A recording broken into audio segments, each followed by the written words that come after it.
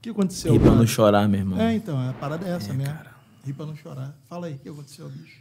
Então, os caras cancelaram minha luta faltando dois dias, né? Por quê? Por- causa do antidoping, né? Por conta do antidoping. Hum. Um negocinho que eu usei lá atrás. Então não cancelaram sua luta.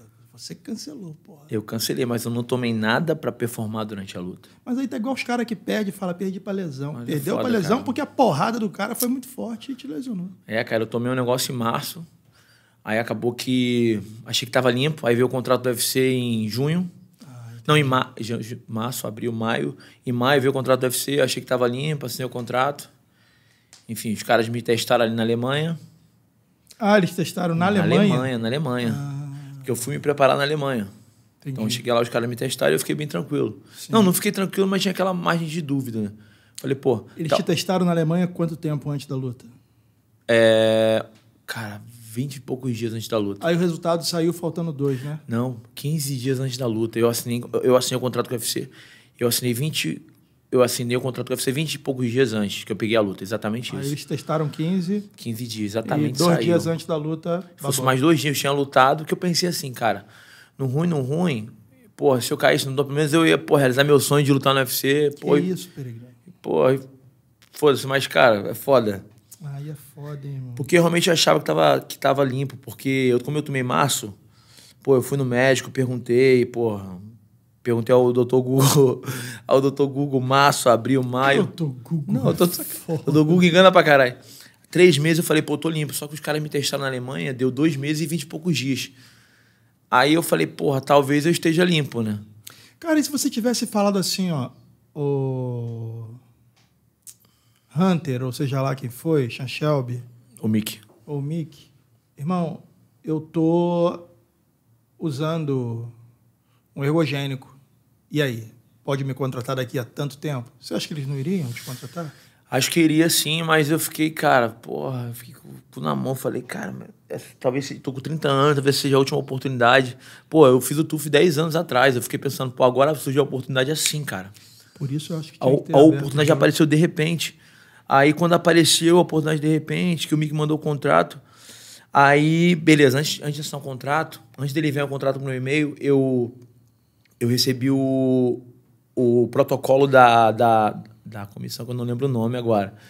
Aí lá, aí eu tive uma entrevista com um cara de 25 minutos e falou, cara, você precisa declarar tudo que você tomou durante um ano. É, porque se você declara e roda, sua pena é. É menor, Quatro cara. vezes Aí menor. eu fiquei, cara, porra, eu só fiquei lá, whey protein, creatina, BCA, glutamina.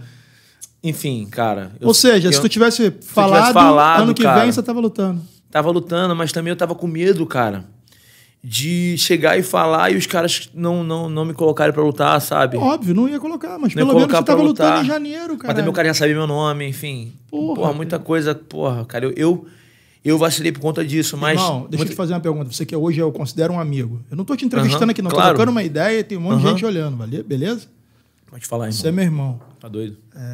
Um head coach faz falta. Faz falta, pô. Fa- Cara, não somente um head coach, mas eu acho que, como eu fechei a parada do UFC sozinho, sem empresário, faltou um cara pra me falar. Cara, declara, fala tudo que você tomou. E tudo aconteceu muito rápido na minha vida. Vou te explicar como aconteceu a história do UFC. Tudo aconteceu muito rápido, cara. Eu.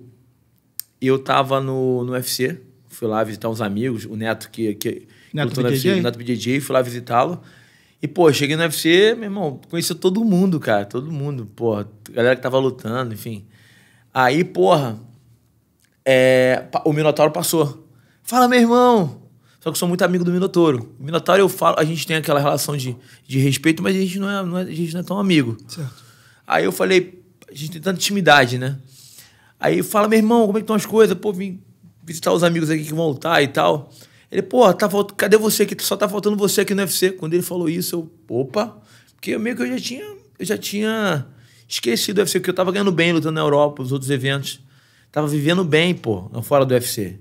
Eu sou um dos poucos atletas hoje fora do UFC que vivo bem, Sim. que recebo bem Luta pra caralho. que luto muito. Então, assim, eu, eu, eu, eu não precisava do UFC. Claro, pra enricar, eu preciso. Porra, claro, po- posso ganhar Sim. até muito, muito mais dinheiro. Pra viver, pra viver bem, eu tava vivendo bem. Então, quando ele falou isso, despertou algo em mim que tava morto. Porque 10 anos atrás eu tava no TUF. Aí eu falei, porra, mesmo quando ele falou isso, cara, eu que tava assim, Eu fiz assim, irmão. Falou, poxa, sério, cara, pô, me bota contato com o homem aí, pô. Ele falou, cara, os caras estão por aí, o, o, o Mick, o Sanchelb, os caras estão por aí. Pô, tem que, tem, que, tem que colar nos caras. Meu irmão, quando ele falou isso, eu mudei minha mentalidade. Eu fiz assim. Eu vou conseguir esse contrato. Todo dia eu ia pro hotel do UFC. Todo dia eu ia pra lá. Aí ficava lá, tomava café, almoçava lá, jantava. Falei, uma hora eu vou trombar com ele. Mas sempre com os amigos. Aí, beleza. Aí todo dia. Aí, aí o, o, o Minotauro falou assim: o Minotauro falou assim comigo: Peregrino, tem que pegar ele no bar, que ele gosta de tomar uma. Ele gosta de tomar uma, tem que pegar ele no bar. Eu falei, pô, aí todo dia eu ia pro bar. Aí eu pedi uma bebidinha também. Eu fiquei meio aéreo também, pedi uma coisinha, comecei a tomar uma coisinha. Eu não sou de beber.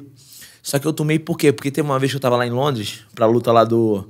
pra luta do, do Hannibal, lá em Londres, e o Mick tava aqui, eu tava aqui, e eu não bebia, e eu, eu, eu não falava com o cara, fiquei com vergonha. Aí eu falei, dessa vez eu vou tomar um negocinho, cara. Vou tomar um negocinho que eu quero quebrar o... O gelo. Quebrar o gelo. Aí eu tomei um negocinho, daqui a pouco comecei a brincar. Cara, todo mundo falava, todo mundo passava, peregrino falando comigo, caralho, minha irmã, essa mão, tu aí, tu bate nego, cai, pô, sub-zero. Ele só olhando pra mim, pô, todo mundo falando comigo, tirando foto comigo e tal. A galera, pô, vamos tirar uma foto aqui. Ele, quem é esse cara? Eu tava arrumadão, né? Ele olhando assim, porra, quem é esse cara? E tal, não sei o quê. Aí, aí tinha, tinha duas tava mulheres. de terno? Tava não, de terno? Tava de terno? Não, não, tava com camisa básica, mas brilhosa, tava, tava bem vestido. Sapatinho maneiro. Aí, aí eu tava com a. Tava na mesa, tava com a, a, a, a Paula Sack aqui, ela mais uma, mais duas amigas dela, assim, tá na mesa conversando. Tinha um tempo que eu não havia. Aí ele colou na mesa, assim, né? Me colou na mesa assim e tal, não sei o quê. Falei, agora é a hora. Aí, pô, aí ele, porra, tá Eu falei assim, porra, tá quente aqui. Ele é, tá quente aqui, o que tu quer? Ele é, pô, de onde você é? Ele, pô, sou do Texas. Eu falei, pô, do Texas? Pô, legal, cara, tô indo pro Texas agora. Pô, tô indo pro Texas. Pô, sério, você vai fazer o que no Texas? Pô, vou lutar o Karate Combat. Vai ser no Texas. Ele, porra, que maneiro, o Karate Combat é muito maneiro, cara. Eu, pô, eu assisto e tal. Pô, eu tenho, eu tenho duas vitórias lá. Falei pra ele. Aí ele, porra, que maneiro, me amarro nesse evento, cara. Pô, desculpa, qual o seu nome? Eu falei, porra, Lutherbach. Ele, oh, meu... Em inglês falou assim, ô oh, meu amigo, desculpa, cara. Poxa, é, of course I know you. É, pô, claro que eu te conheço. You are beast, of course I know you are beast. Claro que eu te conheço, você é fera, cara, eu te conheço. Eu tenho todas as suas informações aqui há muito tempo. Eles têm, eles têm tudo, claro, cara. Têm, eu tenho tudo seu aqui. Poxa, aí, porra, o Minotauro falou super bem de você também. Cara, vamos tirar uma foto aqui. Ele pegou o telefone assim, fez. Botou na selfie, caramba. Tirou uma foto. Pô, mandou pro, pro, pro Minotauro também. Pô, mandou para outros amigos em comum. Aí eu, caramba, que maneiro, cara. Tipo, ele. Aí eu comecei a trocar ideia com o cara. Fui trocar ideia um monte de coisa com ele. Aí ele, cara, pô, com certeza eu quero ter você com a gente aqui. É, mas é, It's okay if I give you contender? Ele falou assim comigo. Então, da mesma forma, tudo bem se eu te der o contender? Quando ele falou isso, cara, contender, eu falei, pô, meu irmão, eu não recebo. Eu não recebo 5 mil dólares, mas 10 mil dólares pra lutar já tem muito tempo, porque eu não recebo essa grana. É muito. Você falou isso pra ele? Não, não falei isso pra ele, tô falando pra você. Tá eu já não recebo. Aí, como eu, já, eu, não, eu não luto por esse valor, já tem tempo que eu não luto fora do UFC, eu falei, porra, eu respirei fundo, cara para respirar, porque eu não podia cortar o cara, me subvalorizar, e também eu não podia perder a oportunidade. Então eu respirei fundo, cara. Aí eu fui um ator. respirei fundo. Eu falei, então, comecei com então. Então, cara, vamos lá. Cara, meu sonho hoje é estar no UFC. Eu quero estar no UFC não pelo dinheiro. É, hoje eu sou um dos melhores lutadores do mundo fora do UFC. Falei bem sério, olhando no olho dele. Hoje eu sou um dos melhores lutadores do mundo fora do UFC. Então, hoje eu não preciso de dinheiro. Eu quero ir pro UFC porque é meu sonho. I want to fight for the legs, I want to fight for the dream. Eu falei assim pra ele, essa minha, com essa minha força. Eu tô pelo sonho, pelo legado, porque eu quero estar tá lá. Então, se você quer me dar o um contender, cara, eu vou aceitar o contender sem problemas. Ou seja, ali, eu mostrei, que, mostrei o meu valor para ele, mas eu também mostrei a gratidão. Falei que eu também luto. Mas para ele entender quem eu sou. Mas eu mandei, porra, bem, mandei no inglês assim, cara Porra, ele olhou pra minha. O olho dele brilhou quando eu falei isso. Muito foda. Porque esses caras não gostam de, de cara quando história triste. Claro ah, que não. Porque minha irmão. família tem o meu filho, não sei o quê. Porra, porque eu trabalhava na feira, vendia fruta na feira. Os caras não gostam de história não, triste. Não, é outra. Caralho, eu falei disso. Americano ontem. não gosta de história triste. Puta que Você tem que se vender, você tem que se promover. E eu só falei verdade. Irmão, isso aí foi tema sábado, domingo, segunda e terça na caixinha do Instagram, porque a galera, nossa cultura gosta da história do- da jornada do herói, né? Nos Estados Unidos, né, o que é entretenimento. Isso. foda-se. Aí o brasileiro também não quer se promover por tem medo do que os brasileiros vão falar. E, caralho, foi Porra, que porra é essa, irmão? Tem que Foi falar, pô. Tem que se promover, meu irmão. Você vai continuar pagando passagens de avião mais caras por não possuir o NordVPN? Você vai continuar pagando também hospedagens mais caras só por não possuir a NordVPN? E o pior, vai continuar sem acesso a eventos esportivos bloqueados no seu país? Ou pagando streamings mais caros com um catálogo menor só por não possuir a NordVPN? Olha só, por apenas R$ 9,34 a NordVPN permite que você acesse a internet do país da sua escolha no aplicativo, independente da sua posição geográfica. Você no Brasil pode acessar a programação dos Estados Unidos, por exemplo, e você nos Estados Unidos pode acessar a programação da internet no Brasil, viabilizando acesso aos conteúdos do país da sua escolha, inclusive streamings e o preço praticado nesses países. Fora a segurança cibernética oferecida, pois a NordVPN criptografa os seus dados, impossibilitando o rastreamento, e ainda identifica e elimina arquivos maliciosos antes do download. Tudo isso por R$ 9,34. Então, ó, através do link na descrição desse vídeo, pelos primeiros dois anos, você paga apenas R$ 9,34 e ainda ganha quatro meses extra. Beleza? Forte abraço. Então, mas você se promoveu muito bem a ponto do cara pular o contender. Então, aí o que aconteceu? Aí nessa, porra, eu já saí de lá assim. Aí contei com o Laerte, pô, lá na praia. Aí fui Laerte com o Laerte lá no, no. Contei com o Laerte, acabei de falar com o Mick lá, não sei o quê. Porra, meu irmão. Isso tudo em Abu Dhabi? Não, isso foi aqui no Rio de Janeiro, na Ah, hora da aqui? praia. Todo dia, eu, todo dia eu ia pro hotel. Saí de casa, pego o carro e ia pro hotel. Todo dia pra lá. Minha esposa. "Todo- Você vive nesse hotel, é feio, você ficou lá o tempo todo. Eu falei, calma, que vai ser uma coisinha. Eu falei pra ela. É, e tudo que eu falo acontece, meu irmão. É impressionante. Quando eu mentalizo o negócio que eu falo, as coisas acontecem. Aí eu fiquei lá todo dia. Aí fui lá pra orla da praia. Tava no bar do, do- no hall do hotel, falando lá da praia. Aí eu falei pro Laerte, pô, Laerte, conseguiu o contrato, conseguiu o contento. Deve ser lá pra agosto ou setembro. Beleza, já fiquei feliz. Falei, pelo menos, pô, é uma porta. Não pelo dinheiro, mas eu vou. Essa porta aqui eu vou. Que eu vou pegar. Cara, deu uma semana. o- aí eu vi que o Mickey me seguiu no Instagram. Pum, me seguiu. Não sei qualquer um. Me seguiu. Aí eu, opa. Aí ele já me ligou, ei, bro, call me. Ele falou- mandou assim pra mim. Falou, bro, call me. Aí me ligue. Aí eu, porra, me ligue. Aí o coração já acelerou. O coração já acelerou, porque é o sonho da gente, cara. Porra, Claro, meu irmão. É o sonho da gente. Maior palco o, do mundo. O coração já acelerou. Me ligue, me ligue, me ligue. Eu fiquei, porra, cara, vou te falar, eu fiquei, porra, de noiteado, eu fiquei doido, cara, quando ele falou isso. Aí me ligou na hora. Aí, fala, Mick, pô, ele, aí ele, cara, você quer lutar dia, dia 22 de junho contra Shara Magomedov? Nem sabia quem era o cara. Não, sabia, mas falou Magomedov, achei que era qualquer um. É tudo igual, né? Sim. é, contra fulano de tal, Magomedov, não sei o quê, é, tanto mais tanto, o valor é, em, em, Ria, em Riad.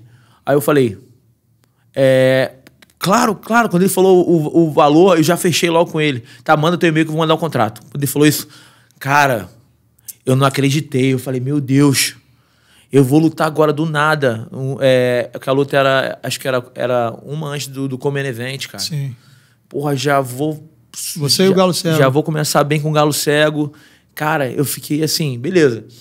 Aí eu fiquei feliz da vida. Eu falei, pô, vou lutar no UFC. Não acreditava, mas que negócio. Eu só acreditava quando o contrato tava no e-mail, né? Porque eu ficava meio bolado. Eu sou, pô, sou paraibano carioca. Eu tava com medo de alguém me atravessar. Como eu tava sem empresário, eu falei, vai que um empresário desse forte pega e joga outro cara na jogada, né? Que tem credibilidade, pô. É. E eu fico sem. Então eu falei, cara, só vou comemorar Quando eu ver o contrato. Cara, todo dia eu abria esse, eu abria esse e-mail. Eu ficava assim no e-mail. E o contrato não, não, não tava lá. Todo dia. Demorou uma semana, eu não vi o contrato, não vi o contrato. vi- Também, pra me valorizar, também não ficar mandando mensagem pro cara toda hora. Ih, cadê o contrato? Esperei um tempão. Cara, eu esperei uma semana. Eu morri de ansiedade. Me cocei pra não mandar uma mensagem pro cara. Depois de uma semana, pra mostrar ansiedade também, né? Ficar enchendo o saco do cara. Deu uma semana eu falei, é, Mick, consegue verificar se você mandou o contrato? Talvez tenha caído no spam, mas te dessa pra ele, né? Aí ele, não, não, não, nós vamos, eh, nós vamos mandar o contrato amanhã. Aí hoje, vai, hoje você vai receber a- o protocolo do DOP, tudo que você precisa fazer. Ah, beleza. Aí chegou a coisa do DOP, welcome to UFC. Aí eu falei, opa, tô dentro, tô sentindo, já tô começando a comemorar um pouquinho. Comecei a comemorar um pouco mais. Comecei a ficar feliz. Aí, beleza. Meu irmão, aí tava. Aí fiz tudo, tudo, tudo o protocolo do doping e tal. Aí eu tava na hora da praia, né? Tava indo pra lá, tava, tava indo lá no Tatar, dar um treino no Tatar, fazer sparring lá com o André Muniz. Seja Aí fui lá fazer perguntar, tá no meio do caminho, cara. Quando eu abri o e-mail assim, que eu vi o nome, o contrato, assim, o contrato com as lutas, quatro lutas, e o contrato do. e, e o contrato da luta. Você recebe dois contratos, um com o evento e um com a luta. Quando eu vi meu nome, Joilton Lutherbach, meu irmão, eu gritei de um jeito no carro, tava sozinho, eu gritei, cheguei, cara. Meu irmão, foi uma felicidade. Eu costumo falar que eu tive. Eu, a, eu, foi, não, eu tive duas grandes felicidades na minha vida. Uma quando eu recebi o contrato com o UFC, que eu vi meu nome lá. E a segunda quando o meu filho nasceu, que eu puxei, que eu tava perto, né? Que, que eu tava perto do parto e peguei o neném no meu colo e que eu falei, nossa, é meu filho, cara. Foi uma sensação muito parecida, cara. Muito, muito parecida. Eu fiquei feliz demais. Aí, enfim, eu recebi o contrato do UFC. E foi isso, né, cara? Aí depois